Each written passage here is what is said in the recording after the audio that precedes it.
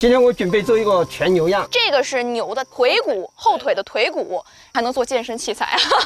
蜗牛大腿相当有分量。就是我们用这个整个的牛大腿做菜。哦，这个是咱们今天主菜啊，主角是不是？是的。然后这些是我们的一些脏器，里脊肉，那纯肉的咱们也有，还真有丰收的那意思了哈。咱们准备吃一整头牛呗。啊，对。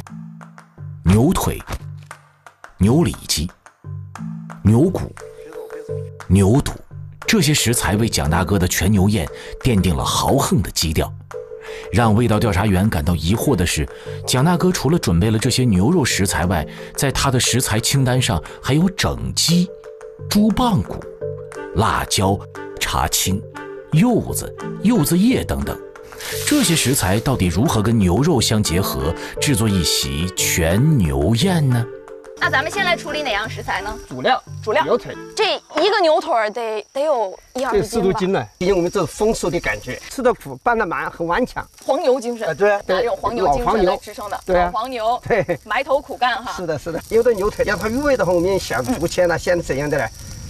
扎些小孔，使劲的话是暗暗的使劲。哦，暗暗的使劲。看上去的话，我不明着使劲。对，实际上这是我们用力了。将去皮的牛腿用竹签扎出小孔。再入锅焯水，去掉牛腿肌肉组织中的血水和杂质，减少牛腿的腥膻味道。边焯水，蒋大哥边开始处理柚子。他说，柚子在制作牛腿的过程中起到至关重要的作用。我还是红瓤的柚子呢，这肯定甜。鱼生火，六生肠，正好加进去，这就起到了健胃消食，一个饮食的酸碱平衡吧。好，哎呦，水分还挺足，味道怎么样？嗯。非常的甜，而且我感觉这个其实在这个肉里边应该能起到一个解腻的作用。对，边包边吃才是享受，小时候还真真正的偷偷吃，是吧？是 包出来的肉比它这个柚子要少得多。茶叶，茶叶，因为我们选的茶叶比较嫩，它有茶叶的清香味啊，主要是取其清香。对对，江湖葱里面还有硫化物，硫化物是最好去腥味的东西。我怎么感觉我在上化学课？没有没有，对对对。山楂干也是健胃消食，加点花椒去一增香，对，味道会更足一点。充分出味儿，对，咱们只取这个水，水底层，嗯，向上全卷，得雷到一个什么程度呀？仪容胀。您这雷的手艺是从哪儿学来的呀？看嘛，看多了耳濡目染就学会了哈。看多了就知道了。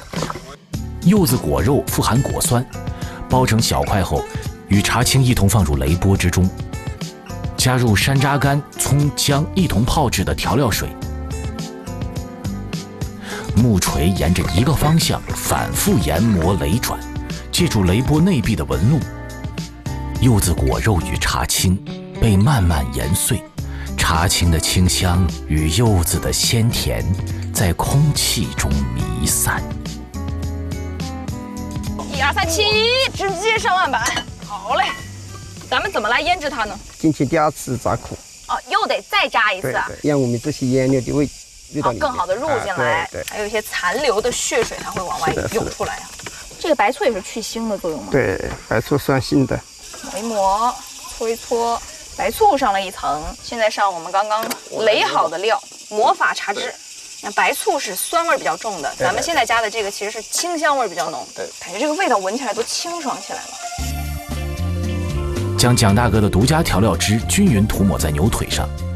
牛腿充分吸收了调料汁的味道后，又多了一层茶香与果香。这时，蒋大哥开始制作独门卤汤。用他自己的话说，这个卤汤的味道就是一个字：绝。牛骨头敲碎，下到卤锅里面。敲碎它呀？对，我们这个柴刀砍柴的，砍柴用的。对。我感觉这个刀有点松动了啊啊！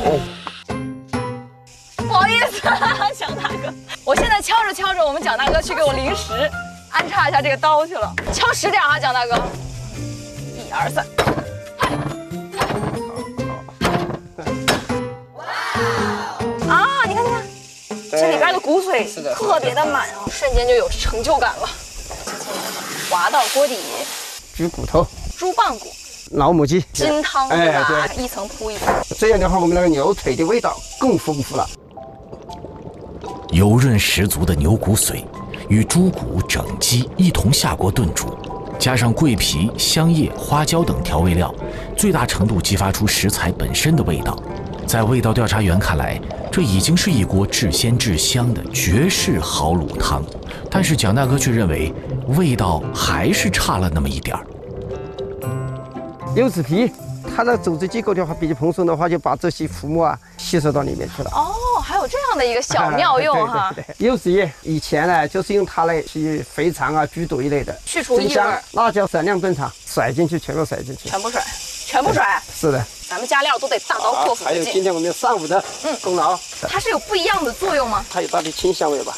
我下手轻了都不是我们蒋大哥的风格。看这用料相当豪横。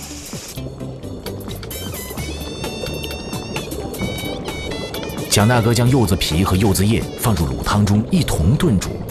柚子皮的海绵层松软有弹性，可以吸收卤汤中的浮沫，起到清道夫的作用。柚子叶富含大量的挥发油成分，而其中蕴藏着芳香物质，可以为卤汤增香提味。在卤汤炖煮的时间里，蒋大哥要用辣椒再次腌制牛腿。这就形象地展示了什么叫做最迷人的也最危险。你别看它颜色很亮丽，但它攻击力应该挺强的哈。是的辣得很。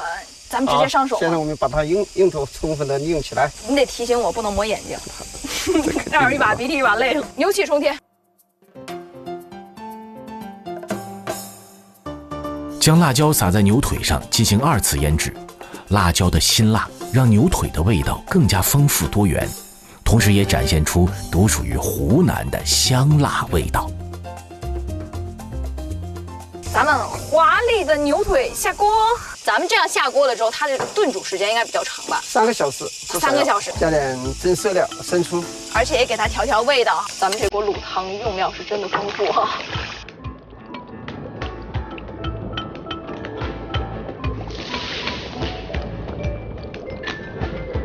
腌制好的牛腿放入卤汤中，先用大火煮开，然后转小火继续炖煮。牛腿在卤汤中沉浮，茶青、柚子、辣椒以及牛骨、猪骨、鸡肉等各色食材在锅中释放出精华，又悉数被牛腿吸收，炖煮三个小时左右，香辣卤牛腿就可以出锅了。除了香辣卤牛腿，蒋大哥还制作了牛肉圆子、牛筋锅、炝牛百叶、酱卤金钱肚、小炒黄牛肉、糯米牛血肠等等。不同部位的牛肉在蒋大哥的手中一一化为美食，组成了一桌庆祝丰收的全牛宴。